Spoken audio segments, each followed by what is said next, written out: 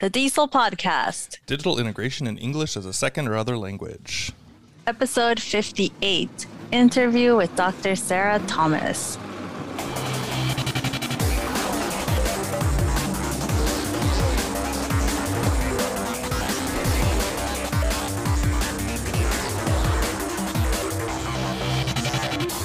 Welcome to DIESOL. This is episode 58. We are your Eight. hosts. I am 2022. 2022. And I'm interrupting Mm-hmm. That's Brent.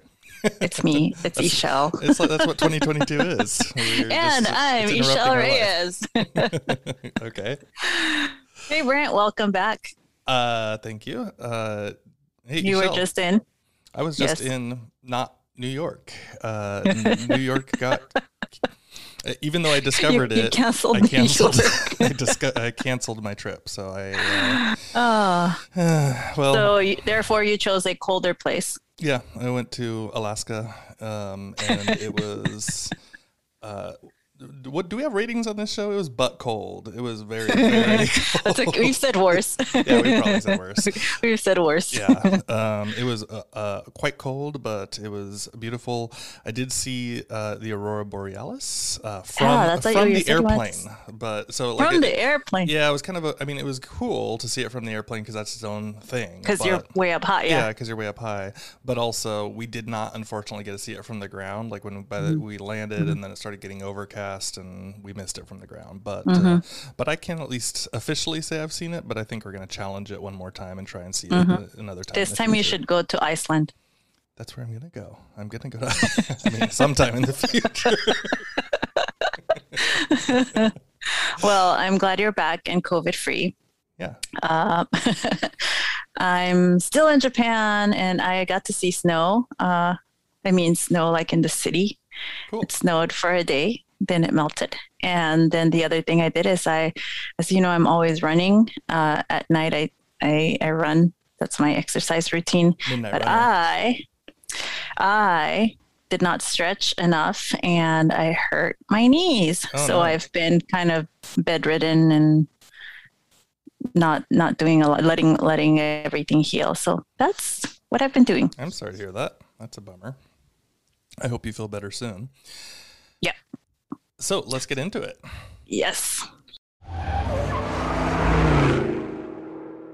All right. Today I am super, well, we're both super excited because our special guest is someone that I found on Twitter first uh, in 2014, I think it was. Yeah.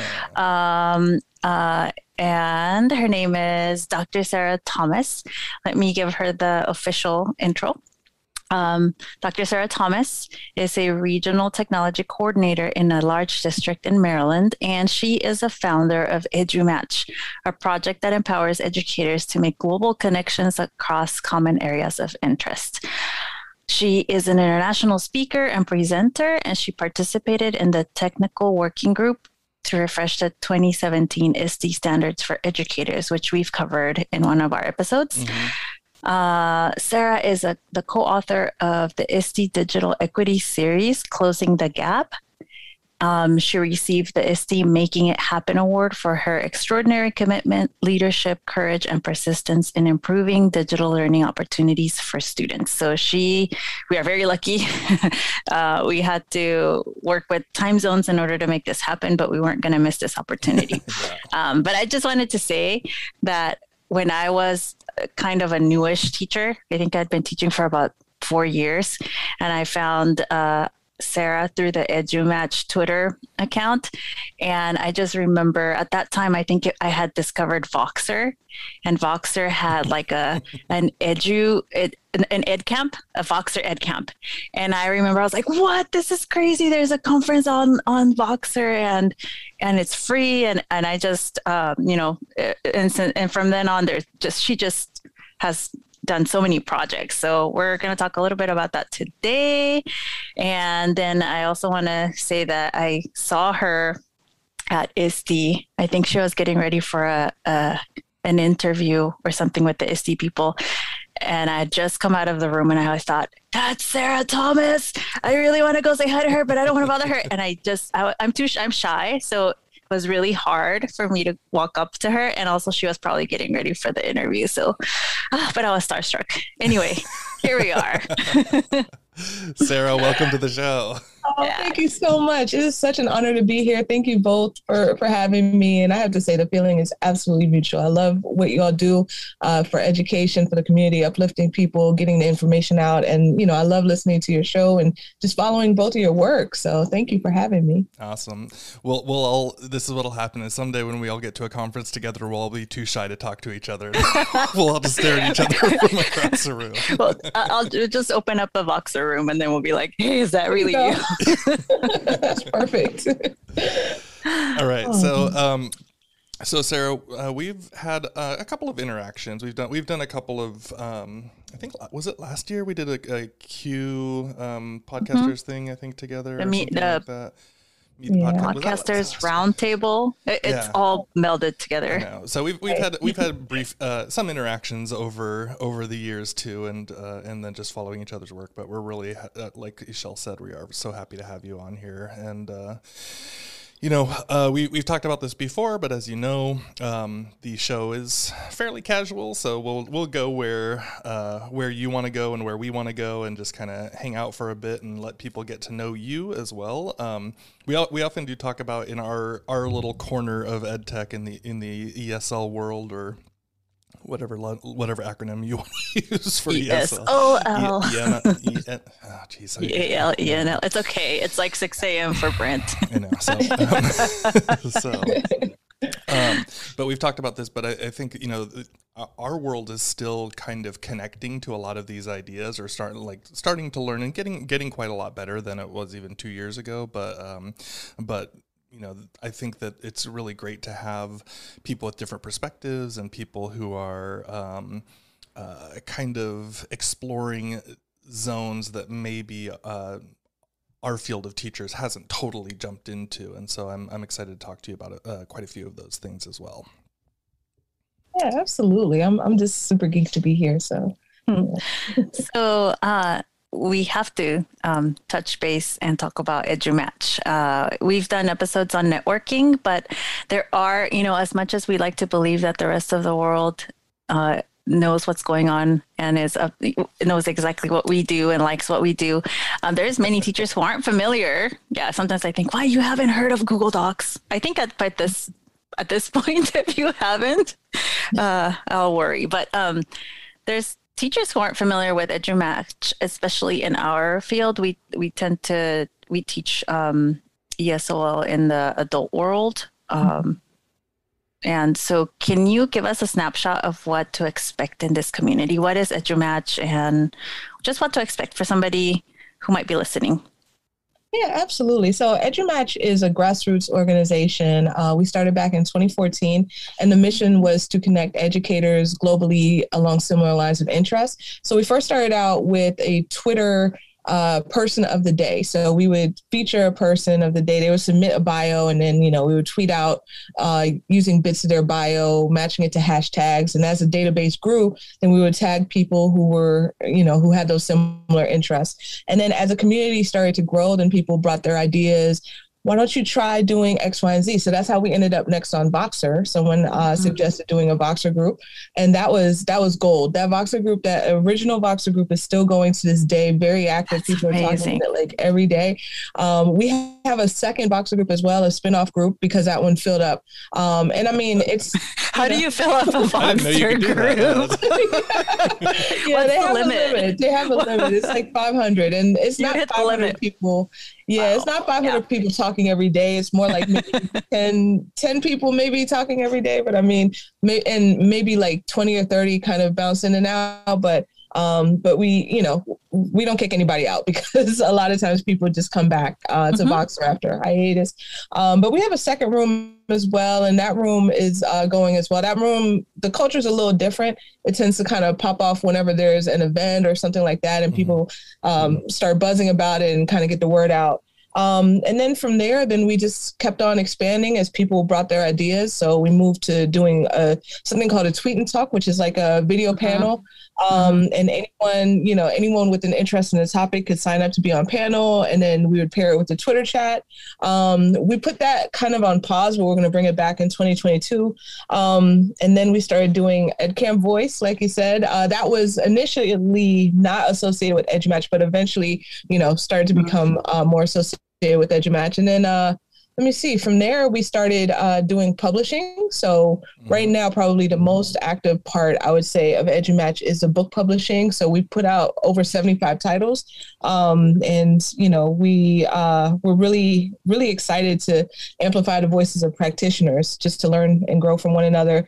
Um, we have done a nonprofit. So our mini grants, we just did round two, and we're about to notify the winners um, whenever you know whenever the board meets again, and we're going to go ahead and notify the winners of the mini grants. And uh, the last thing is the professional learning. We started working with districts and doing things like asynchronous book studies, as well as synchronous uh, professional learning opportunities. So it's really kind of grown over the years thanks to the people who have joined and uh, contributed their ideas and uh, their talents and skills kind of grown just just just kind of you know we put out 70 books and just kind of grown and the, the Voxer chat's still going, you know, almost what, 10 years later? Wow. I have to, I have to say that one of, one of my real favorite things about it is it's just so teacher focused, right? Like a lot of these things, it feels, feels like people kind of launch these things and then they're like, eventually they're like, oh, we're not going to make money off of teachers. We're mm-hmm. going to make money off of like doing, you know, like whatever the, some uh, some other part of the field, right? And it's like, and I really feel like the the the thing that I love about EduMatch is it's it's always so like, let's get into those teachers, let's get into real people who are actually working, who are mm-hmm. actually doing stuff. It's not a you know, it's not a bunch of people who are like, oh yeah, I I uh, you know, I I once took a, a class on teaching twenty years ago, and now I'm a, you know, like, like you know, it's, it's, like there's so so much real focus on everything. So I really I do appreciate that you guys kind of keep that. Um, it, it does feel even as you grow so much, it does feel continually grassroots and and for for the people. So mm-hmm. I just mm-hmm. want to say thank you for kind of keeping that spirit alive with it too. I appreciate that. Thank you yeah. so much. I'm I'm actually excited to hear that you're going to be uh, doing the tweet and talks again, because I was I was watching one and um, the topic was how to keep how do we encourage high school students to join the teaching profession. And it was the you know the panel and you have the the students and the teachers talking and it's everybody's everybody's uh, own story of how to do it. And of course they're talking about treat teachers with respect and you know pay them what they're worth. And i'm like yes. And then because we have the same issue with in in you know as language teachers it's just hard. And the lifespan of a teacher i don't um, it's usually three to five years, you know, in the mm-hmm. field. And then with COVID, I don't know what that's doing to our poor teachers. Yeah, yeah it's really rough right now, you know, just even mm-hmm. seeing, hearing the discussions, seeing on my timeline on Twitter, just what people are saying. And yeah, this is a very difficult time, um, you know, but yeah absolutely but that just you know underscores the need for that support you know mm-hmm. that that we can we can provide each other with um, and there's many other things that we need as well but that's that's definitely one thing that has helped me a lot oh for sure i, know um, i mean i also met brent through twitter and here we are and uh, having that community there. Even like right now, I feel like I'm kind of on hiatus because I'm, uh, uh, you know, I'm in a different country, so I'm a little bit disconnected. But I still go in there and, and read what teachers are going through, and I and it breaks my heart, you know, to especially in elementary schools where people have to make a choice or don't have a choice, that's a good choice, you know, to make, especially right now. Yeah. So but, I think this kind of, if we can kind of uh-huh. co- move into this with this COVID uh-huh, conversation. So, Sarah, I know you've been seeing a lot of different things going on over the last couple of years. Um, you know, we've been I, I, think a lot of so many of us are still processing like we're, i mean we're, we're still in the middle of it you know? It's like a lot of people want to imagine okay we're light at the end of the tunnel and then of course like omicron hits or whatever else it is right? And so it's like i, I want to be done talking about this but at the same time like it's it's an it's an integral part of our everyday lives and major concerns for teachers and for students and health and all of those types of things. Um, and and you know, I, I, know these answers will always change, um, but like as we've been kind of navigating the world world with COVID, um, do you feel like you've gained any wisdom, like looking back over the last couple of years and kind of like, oh, these are the things we've learned, or these are the things that like can really make changes for us, or these are, you know, uh, I guess we're just kind of wanting to get your thoughts on like how maybe uh, this this modern world has has changed your your perspective on things.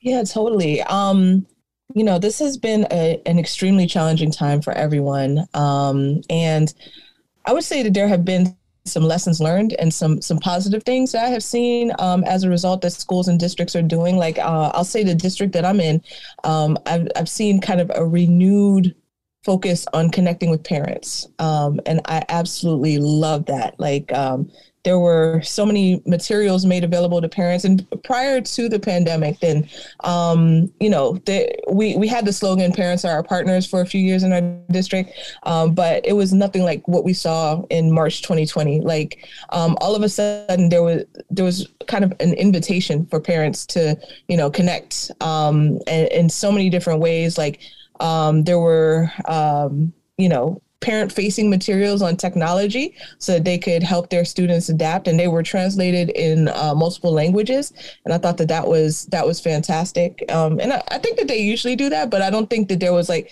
i don't think the content was the same in terms of uh, the technology you know here's how you use zoom here's how you use blah blah blah and you know, I thought that that was great. Um, parent centers that they created so that parents could come in and get technical support and uh, training, you know, um, on different things. I thought that that was that was fantastic. So uh, definitely want to hold on to that. And I see that now that we have returned to in person. Um, right now we are we are virtual for like actually no i take that back. Starting on tuesday we're back to face to face but we were virtual for three weeks because of omicron. Um, but yeah i'm hoping that they hold on to that. Um, and you know there there have been so many things that that people have been stretched to do. All, all stakeholders you know the educators the students parents um, and and i just was inspired by seeing um, folks come together and do what they had to do to to make this work. Um, and I would say in my district, like I, I don't have uh, kids yet, and you know I'm not I'm not I don't have the parent the full parent perspective, but from uh, from what I was seeing, then for many students, then it seemed to go very very well. So. Um, and I've heard different stories about how sometimes things did not go well, but I feel like um, the steps that my superintendent took um, to just ensure that students had what they needed um, to to be successful, then then I feel like that did help a lot.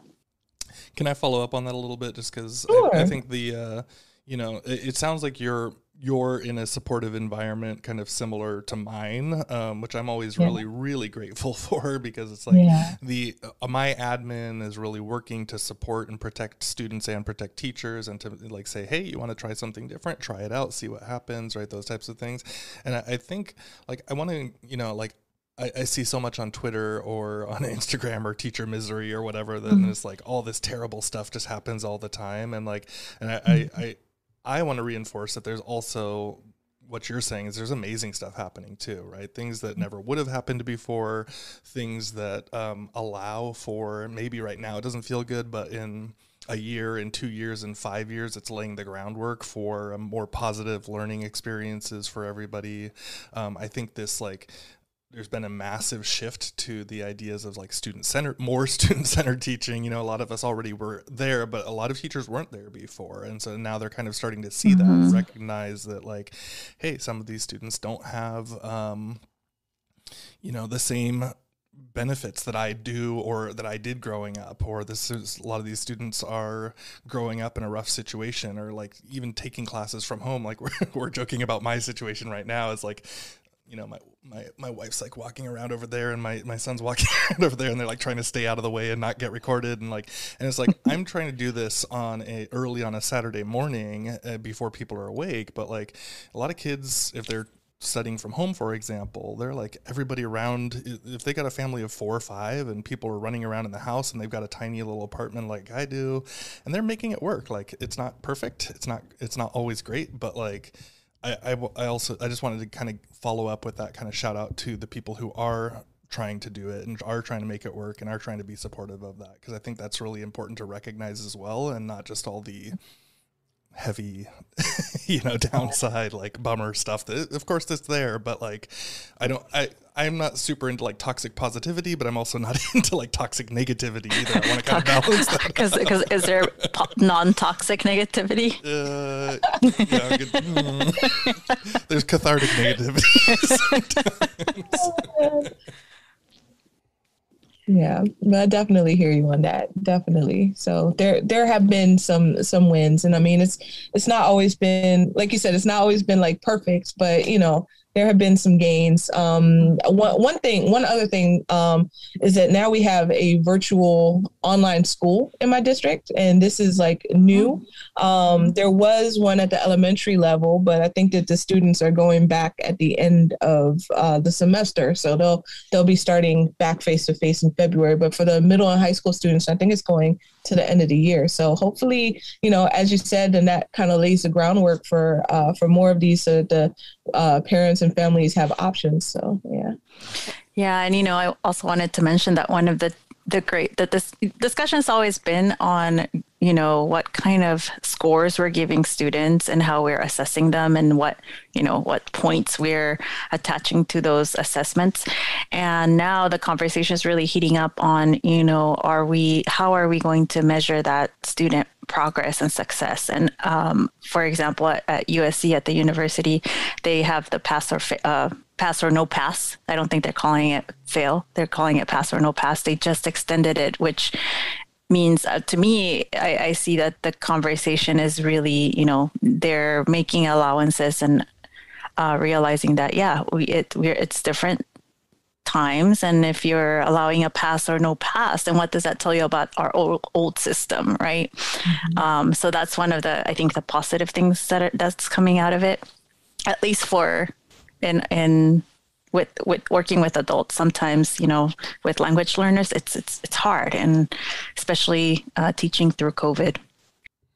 So i want to shift over to challenges that you've that you've seen or that you encounter often especially um, with our language learners and um, tech use. Can you talk a little bit about that yeah, absolutely. So, um, particularly during remote learning, when we uh, first started that in 2020, then, you know, as I said, then there were some translated materials that we put out for parents and for students. Um, however, you know, sometimes there is a, uh, there's some nuances that don't necessarily come through um, with that material because it's it's like a one sheeter or you know a video or something like that or an overview. But um, a lot of times there's like some nuances. So being able to have the resources in order to go deeper into details because i mean even if you give it to a native speaker you know um, a native english speaker in, in the english language then then there's a lot of questions still at that point you know like how do i you know like this is cool but how do i do x y and z? So so definitely having the resources available to meet any um, to to be able to further explain like the nuances of the products mm-hmm. and things of that nature. Um, I would say another thing is the uh, translation itself, because mm-hmm. um, we do have them typically in English, French, and Spanish. Um, and I believe other languages are available upon request. However, if parents don't necessarily know that they need to request, you know, the the other language, then that could also be, mm-hmm. you know, a barrier that kind of uh, challenges challenges folks. And I would say that the third thing is um, background with the tech, and this goes regardless of um, regardless of language. Um, this is this is all parents. You know, some some parents and students may have had exposure to the technology before, and they may be able to you know best adapt but some for some people then this is totally brand new you know and they they may not have ever seen a zoom before or mm-hmm. seen you know Edpuzzle or Nearpod or mm-hmm. things of that nature. so uh, just definitely um, just the varying levels of um, the varying levels of I guess knowledge that they're bringing in with them. I was wondering, uh, Sarah. I don't. I just strikes me as you're talking about this, trying to capture, you know, parents from, you know, the parents are are oftentimes more likely to not speak the language than the children. Like the children catch it up, you know, quickly, and they can kind of start figuring it out where the parents are struggling. And I was just thinking about this, you know, like with, with like some UDL principles and uh, you know, universal design learning principles and all these types of things.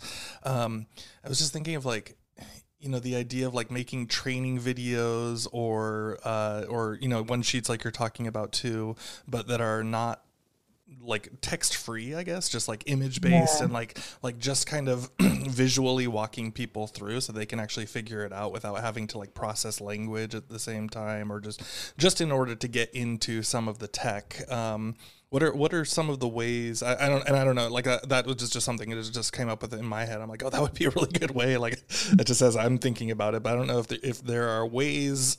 um, I know some of these like you know call call this uh, system and they'll they'll have a translator like in 150 different languages or things like that. You know they've got all these different types of things. But um but what are some ways that you've seen that have been successful in helping onboard people especially when you, when you're doing like the virtual things? Um do you, do you have any techniques or uh or advice that helps people, especially teachers, when they've got new new students that don't totally know, or new or new students' parents who don't totally know. Like, how do they how do they make that connection? Yeah, and I love what you're saying about like the the one sheeter without the text on it. Um, I think that that is you know that's definitely very helpful um, also the the videos tend to work better than the one sheets because you know people get to actually see um, what you know what's on the screen and follow along and, and things of that nature. Um, i also love what you said about having the uh, having the hotlines in place. We do have a hotline in place in my district that parents can call and you know receive support. So i think that that all of those things uh, definitely you know definitely help to uh, definitely help to make it stick. Yeah. Awesome. Awesome. Um, so uh, sarah one of the things that we've been uh, you know, you, you were a co-author on this book on um, on you know uh, the digital equity strategies and closing the gap in the digital equity gap. Can you talk a little bit about what that means? I think there's still some people that are like, what, what is digital equity and like how, how does it work and, and and am I achieving it or am I not achieving it um, and, and, I guess I'm sure uh, as you talk about these things you get a lot of people that are confused or concerned um, can you kind of give us the uh, some on the broad picture and then maybe also some of the things that people struggle with and and how you might kind of help them through the process of understanding and transitioning into being a better what, what's the phrasing? Better digital equity uh, facing citizens yeah, totally, totally. So, uh, first, I got to give a huge shout out to my co-authors, Dr. Nicol Howard um, and Regina Schaffer. So, we started writing this series for ISTE. Um, I want to say like 2017 ish or 2018. I know the first book was released in 2018, and that was a book for higher ed. We also did a book on uh, K 12 that dropped in 2019. Um, and this was all pre pandemic. Um, and, you know, I, at the time, people were, were starting to talk about it. They had maybe started to talk about it. I started hearing it for the first time probably in around 2014 ish. Um, but I know that it's been talked about long before that. Um, you know, there's definitely pioneers in the field that have started, um, you know, they, they uh, started looking into this like in the, um, in the early 2000s or even pre the early 2000s. But anyway, digital equity is pretty much ensuring that students have what they need um, in order to be successful and uh, using online tools to achieve this. So um, a lot of times people think about digital equity and the conversation tends to stop with the devices um, and the broadband internet and the conversation stops there but there's so many more layers to it that um, that we kind of described in the um, in the different books um, one of them being access to high quality instruction um, another one being access to transformational learning opportunities so i know a little earlier we were talking about having students like create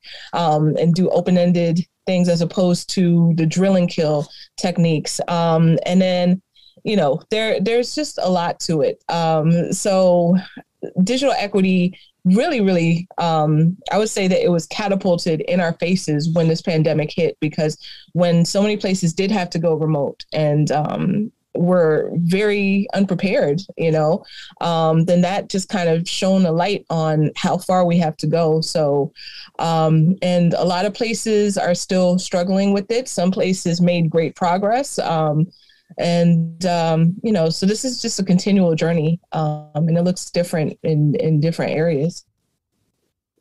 Right.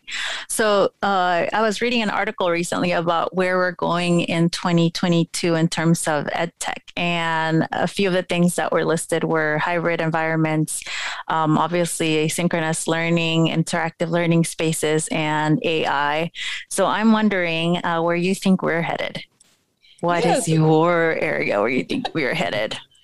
Absolutely. So when we were preparing to do the first book, then we did um, a study um, of various um, of the Horizon report. We looked at the Horizon report uh, for higher ed we looked at the Horizon report for K 12 and we looked at um, news headlines, things of that nature um, for various years. So we just kind of went year by year, looking at 2004, which, which I think was the first year that we could locate of the Horizon report, all the way up to 2018, I guess, or 2017, whenever we finished writing, and just looked at the different trends um, and coded them. So, um, three main things kind of stood out. The first one was, like you said, artificial intelligence, mm-hmm. just seeing how that has evolved over the last um, 15 or so years. And it's been around like since the 50s or whatever, but seeing mm-hmm. how, you know, we've incorporated it in education over the last 15 years or so. The next one was the devices, like uh, the devices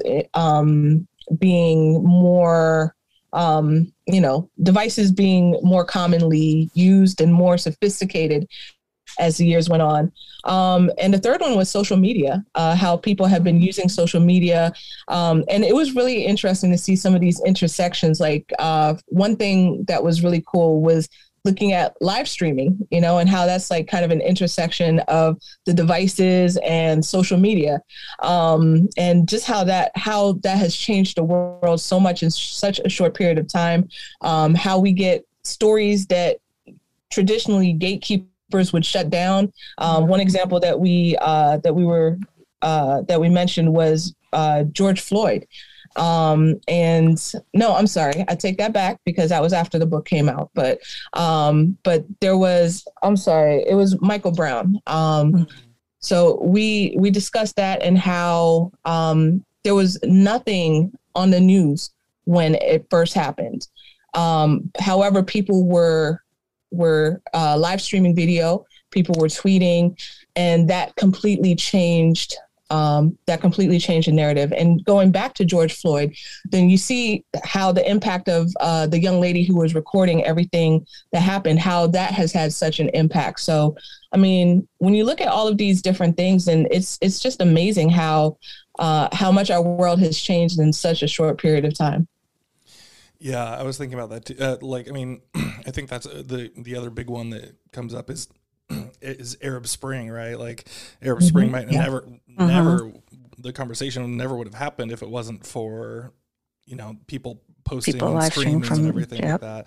I was also yeah. interested though too, like because you mentioned social media, and I remember when we first started talking like ed tech, social media, all of these things. Like, I, I think that the way that education has moved through some of these processes is a little different than we would have imagined when the first conversations were coming up, you know, um, because in my, I remember back then I was like, oh, maybe everybody will be teaching on Facebook or you know some, something along those lines, right? Where it's a little bit more like kind of limited I don't I don't want to say it in a negative way, but kind of a limited vision of like what the actual thing might be. So it's just like, okay, what we do now is now magically going to take place in this other setting, right? And that's not really how learning or education or anything works. But I think a lot of us kind of had these expectations, and then when we look back, we're like, oh, none of my classes are uh, well i mean i know some teachers do things like have access to their students on facebook or or you know instagram or tiktok or whatever it is. Um,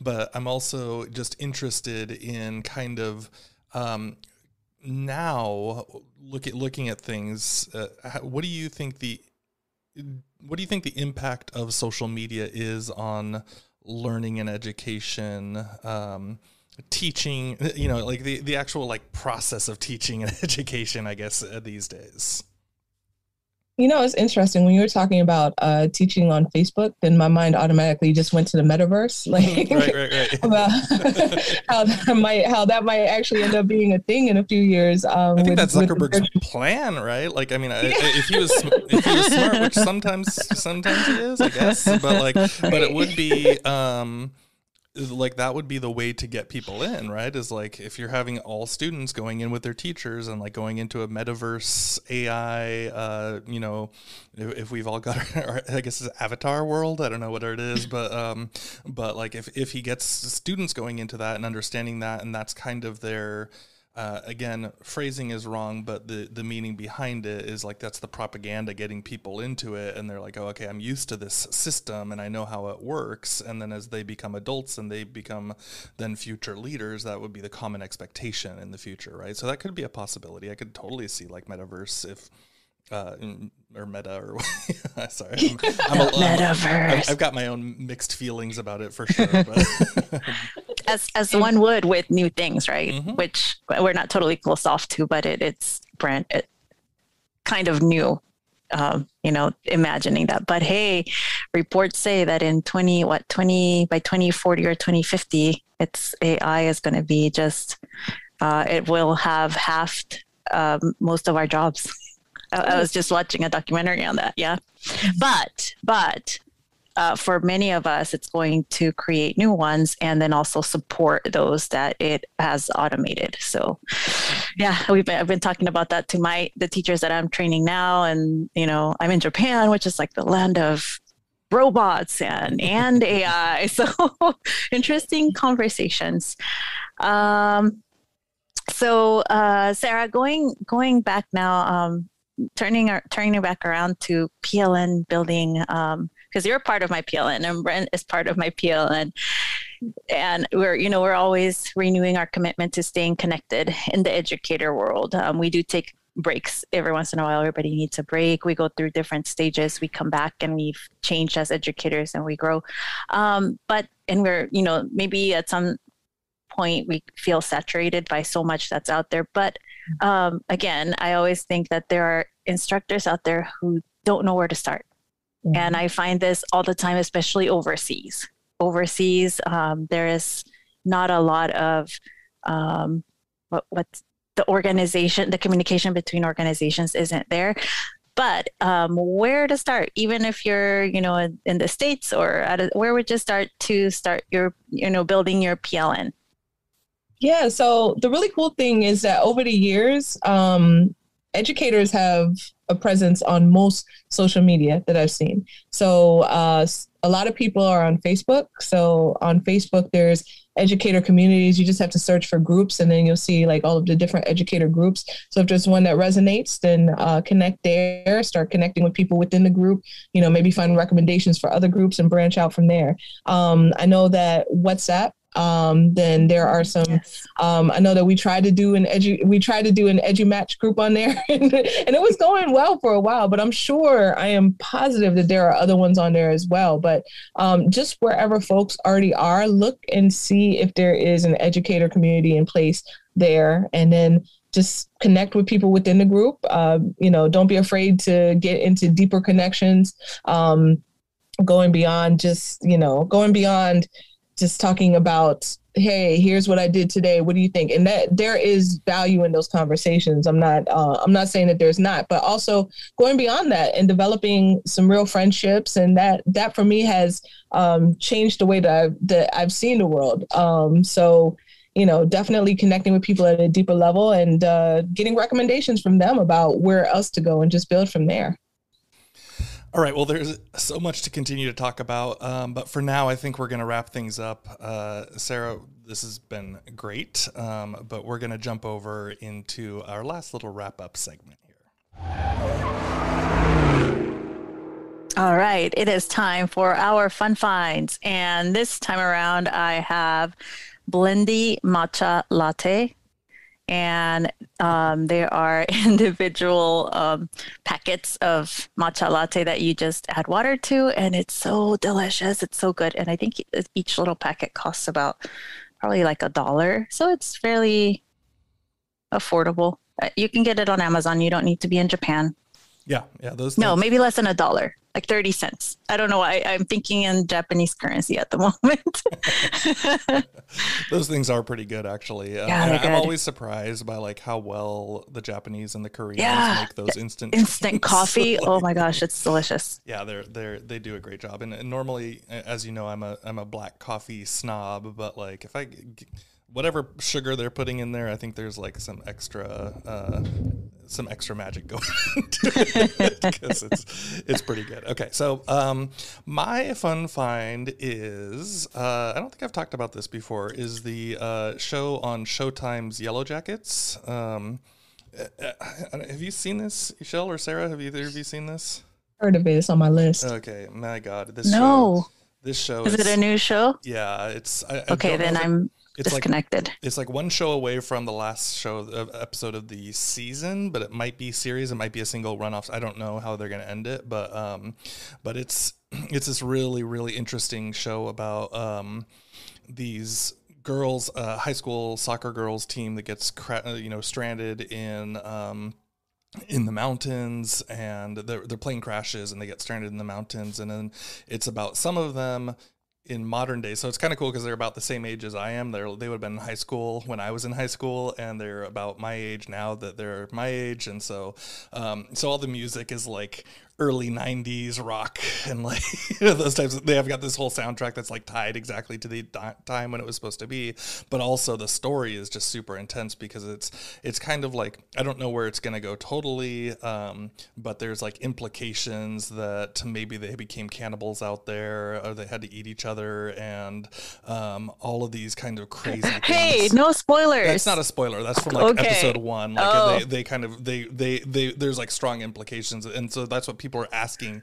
the The answer has not come out into what actually happened with things, but there's like a lot of implications about that, and like that's what people imagine. So kind of looking back at the or sorry, looking back at it from the current day, that like when the people are still kind of like they're like a media sensation. The few these the survivors of this are a media sensation, and so people are always kind of like did you eat people? Did you you know did you do this stuff? Like what what actually happened what's the truth about what happened out there? All those types of things. Did So, you eat people? yeah i mean You're do, selling do not show. isolate that audio please um, um, but uh, That's gonna be our quote. yeah, our did- little "What did you eat people?" episode 58 did you eat people with Sarah Thomas and Brent Ward. um, so anyways if if you have access to it or if you want to get like your free trial i think at this point you could probably if you get like even the one week free trial you could probably binge it and be done in that time so um, yellow jackets pretty pretty uh, impressive show. And the acting uh, from the the younger kids and then the older people are like famous people too. So it's like uh, juliette lewis and christina ricci and like a bunch of cool people. So um, so uh, yeah, if you're interested in that kind of show, go for it. Sarah, what do you got? Oh my gosh. so that that show what that show's on my list, but it sounds a little It's a little intense. a little creepy right now. But yeah, but similarly, um, I had uh, for for my thing, I had um, great shows that just ended. Um, so just wanted to um, my favorite show. This might actually be one of my top three of all time. Insecure Oh. just ended. Oh my gosh, I love that show. I could relate to it so much. It felt like my early 30s. You know, like I mean, obviously not doing you know all the crazy stuff that they did, but a lot of it, you know, I could relate to their motivations and Oh, she's things like amazing that. too. Oh my god, that like what what a what a. Uh, I, I, I haven't I haven't caught up with it, but I watched the first season and I was like, oh, Oh, my yeah. gosh. Yes. I feel She's so left amazing. out. I've never ever heard of either Oh. of these shows. oh, Sarah, they- t- t- talk about Insecure briefly. Yeah, so it's on HBO and it's created by Ah. Issa Rae, and um, she pretty much it's it's it's kind of like a, a young adulthood type thing where um, they're they're kind of talking about they follow these different characters um, that are kind of insecure and they are um, they're trying to figure out the world they're trying to figure out life things of that nature their careers their romances and I mean, it's super funny, super relatable. Um, and you know, it, it, it, was such, such, such a great show. I, I, watched it for a second time immediately after I watched the first time. Hmm. Um, but I thought that it was like really cool. And then Dexter was another one, the oh, yeah. New Blood, oh, yes. Dexter New Blood. Yeah, just finished watching that. I think that I don't know if they're going to be renewed for a season two, but they, um, you know, it was it was a really, really good show. And then This Is Us is what I'm currently watching. I done. love that show. Yeah. Yeah, that's such a good show, and it's the final season, and I'm so sad. Oh. So yeah, what's so, gonna happen? So you you do like it? I, I haven't watched it, and I always like I watch the commercials, and I'm like, oh, these commercials are like all, the commercials alone are tear jerkers. Like I'm not sure. oh, it's such it's such oh, it's such a good it's a good series. And you know i've i've recommended that one to my language learners and they love it. Oh really? Because there's so many um, personalities that they can relate to and especially you know it's just it's a it's a good show. Great. Yeah, yeah. love it. Awesome. Um, well those are the fun finds so let's jump out Thank you so much for listening to the show. You could win a one of a kind DIESOL pin by leaving us a review on Apple Podcasts, and that would be the first review of 2022 for us. So um, you could uh, be that person, I guess. and if you're giving us a shout out any other way, tag us on social media. We are on all the platforms. Yeah, if you want to support the show, we're on Patreon, and you could also buy us a coffee. Uh, oh, we do want to say thanks to uh, Denise Maduli Williams, our uh, longtime friend. She she threw a little uh, little thank you. She gave us beginning. coffee. Yeah, she gave us some coffee. Thank you, Denise. I know. Uh, I feel bad because she was a guest on the show. I'm like, you don't need to give us anything. You've already, you've already helped us. but but thank you, Denise, and and we hope you're doing well for the new semester as well. Um, but yeah, we are on uh, Patreon. We're on Give Us a Coffee if you like. Uh, if not, uh, totally fine. Keep moving forward with the show. This episode's show notes are available at DIESOL.org slash 58. That's the number 58. Or you can listen to us on uh, VoicEd Canada as well. That's V O I C E D dot C A. And speaking of all the social media and those types of things, for the most part, you can find us on Twitter. The show is at DIESOL Pod, and I am at Brent G. Warner. And I am at Ixy underscore Pixy. That's I X Y underscore P I X Y. And Dr. Thomas, where can we find you? hey, I'm on Twitter and all of the socials at Sarah the teacher. So Sarah D A T E E C H U R. Sarah the teacher. Yeah.